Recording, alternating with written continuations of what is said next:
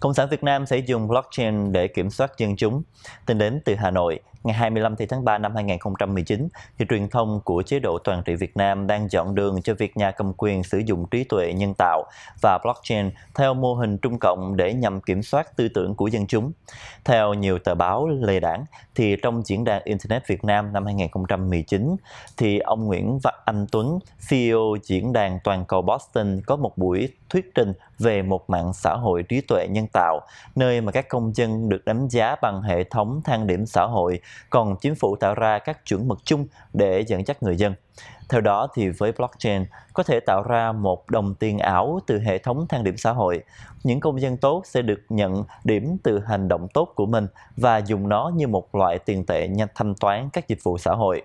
Theo ông Tuấn thì mỗi công dân, mỗi quốc gia đều phải tôn trọng những chuẩn mực chung bao gồm tư cách đạo đức xã hội, việc tôn trọng các giá trị luật pháp, các chuẩn mực chung của nhân loại, tiến bộ mà Liên Hiệp Quốc đã ban hành. Ông Tuấn có nhắc đến một hệ thống phân phối để người công dân tốt, nghĩa là nghe theo đảng và chính phủ phải có một cuộc sống no đủ. Và như vậy, những người hay chỉ trích chính phủ sẽ có đánh giá điểm xã hội kém và sẽ không thể hưởng một số dịch vụ của xã hội. Mô hình mà ông Tuấn nhắc đến trong bài thuyết trình rất giống với chương trình kiểm soát tư tưởng người dân của Trung Cộng. Chính phủ Trung Cộng đã lắp đặt hàng trăm triệu camera trên khắp cả nước để kiểm soát hơn 1,4 tỷ công dân, đảm trả mỗi người dựa trên tín nhiệm xã hội. Những người ở nhóm điểm thấp phía dưới có thể bị đẩy ra ngoài vòng xã hội bằng những cách như cấm đi du lịch, cấm vay vốn hoặc làm các công việc thuộc chính phủ.